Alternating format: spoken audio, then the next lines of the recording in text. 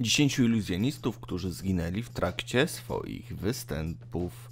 Joseph Barus. Joseph Barus, zwany niesamowitym Joey, zainteresował się magią, aby wyleczyć się z uzależnienia od narkotyków. Chciał zostać nowym Harrym Houdinim i poniekąd mu się to udało. Obydwaj umarli Halloween.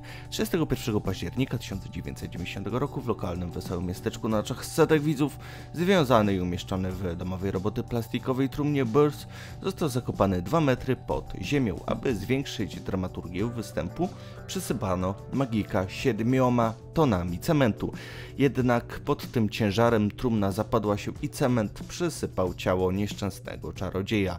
Magik przez pół godziny próbował się wydostać, ale ostatecznie zmarł z braku tlenu. Występ Borusa pokazywany był na ogromnym ekranie i był nagrywany. Dziś nagranie to udostępnia się adeptom magii ku przestrodze.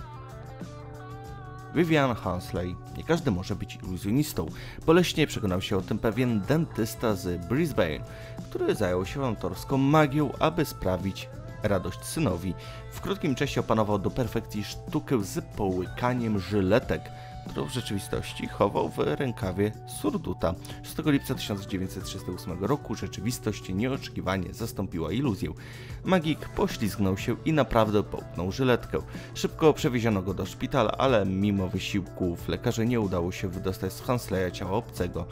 Wykrwawił się. Było to w 1938 roku. Gilbert Genesta. Ulubionym trikiem amerykańskiego magika było zamykanie się w beczce wypełnionej mlekiem lub wodą i wydostawanie się z niej przed utonięciem. Kluczem do sukcesu sztuczki były wymiary beczki specjalnie dostosowane do wymiarów performera. W 1930 roku podczas jednego z występów beczka okazała się odrobinę za mała, przez co Genesta nie mógł się z niej wydostać. Iluzjonista utonął w beczce pełnej mleka. Tragiczna śmierć magika bynajmniej nie zniechęciła wielbicieli małych przestrzeni. Sztuczka z beczką stała się jeszcze większą atrakcją, jako szczególnie niebezpieczna i zjawiskowa.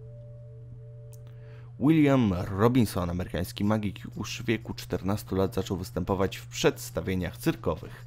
W 1896 roku zainspirowany Ching Fu zaczął go naśladować, przyjmując sceniczny pseudonim Chung Ling Su.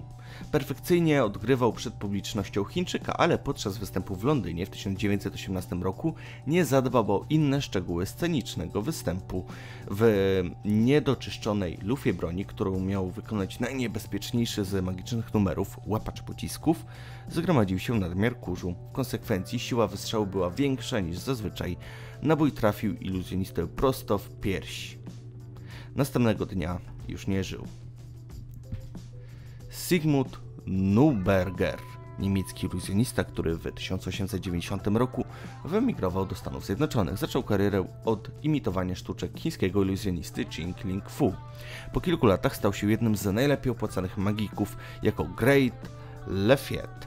9 maja 1911 roku podczas pokazu w Empire Place Theatre w Edynburgu Great Lafayette miał wykonać swoją sztandarową sztuczkę narzeczona lwa, gdy nagle przewrócił stojącą obok niego lampę, wywołując pożar. Teatr w kilka minut zmienił się w piekło, lecz nieświadoma widownia sądziła, że to tylko część pokazu. Dopiero odegranie przez orkiestrę God Save the King dał publiczności do zrozumienia, że coś jest nie tak. Magikowi udało się uciec z północnego budynku, ale postanowił wrócić, by ratować swojego konia. Spłonął wraz z dziesięcioma asystentami. Dwa dni po śmierci iluzjonisty zorientowano się, że przez przypadek skremowano jego dublera. W zgliszczach teatru znaleziono bowiem prawdziwe zwłoki performera. John Miller Pochodzący ze szwedzkiego Helsingborg iluzjonista mieszkał od 11 roku życia w Ameryce, gdzie zachwycał ludzi swoimi nietuzinkowymi sztuczkami. Na początku 1900 roku wyruszył w trasę po Brazylii ze swoim asystentem. Największą atrakcją ich magicznego show miała być sztuczka Ćma i Płomień. Polegała ona na zamianie przebranych ze ćmy sześciu kobiet w płonącą pochodnię 12 czerwca 1900 roku podczas show magicznego duetu w Teatro Santa Rosa Płomieni faktycznie nie zabrakło. Przygotowany na tę okazję pomnik wypełniony acetylenem wybuchł podczas widowiska, powodując śmierć na miejscu Balbregi i poważne obrażenia ciała u jego asystenta. Madame Dliński. Polskim akcentem w historii tragicznych magicznych pomyłek był przypadek iluzjonisty, który podróżował z żoną po Europie jako Monsieur Dliński. 10 listopada 1820 roku występował w Anstand dla księcia von Schwarzburg Souderschussen ze sztuczką łapacz pocisków. Łapaczem miała być ciężarna żona magika, a sześciu strzelców dostało instrukcję, aby nie naładowywać karabinów i w odpowiedniej chwili podłożyć kobiecie nabój. Madame Diński nie chciała być królikiem doświadczalnym, zgodziła się na pokaz dopiero pod naciskiem męża. Obawy kobiety okazały się słuszne. Jeden z żołnierzy myłkowo załadował broń i strzelił prosto w brzuch ciężarnej, która zdołała jedynie wykrztusić siebie. Zostałam zastrzelona. Deliński zmarła dwa dni później, a jej mąż popadł w obłęd.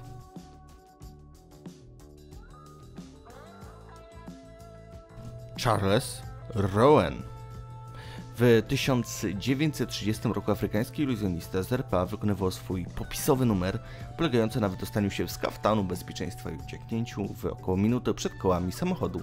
Jednak kierowca przybrał nieco zbyt dużą prędkość 35 mil na godzinę zamiast 30, w efekcie czego iluzjonista nie zdążył się wydostać, a uderzenie samochodu odcięło mu nogę. Zmarł kilka dni później w wyniku infekcji, jaka dostała się do amputowanej felernego dnia kończyny.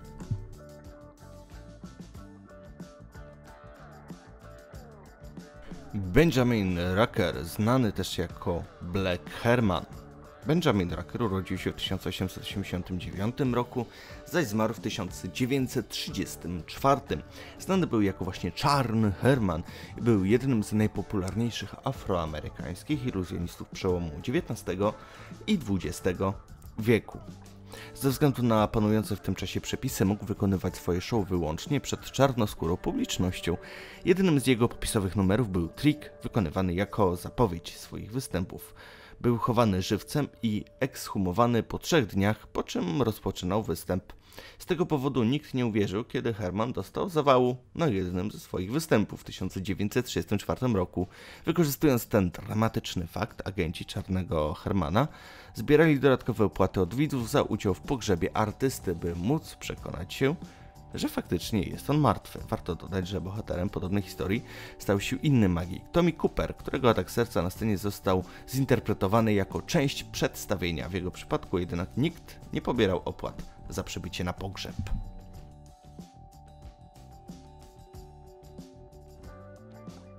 Harry Houdini, urodzony w 1874 roku, a zmarł w 1926 roku. Jeden z najsłynniejszych iluzjonistów, specjalistów od ucieczek i pokazów akrobacji wszechczasów.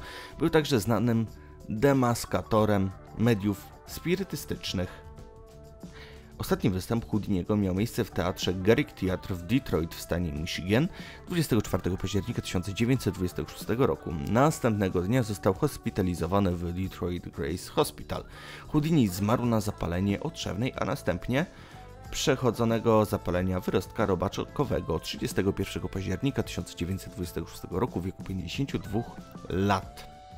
Mówi się, iż chorobę spowodował student Uniwersytetu McGill Gordon Whitehead 22 października 1926 roku w Montrealu, zadając mu wielokrotne ciosy w podbrzusze.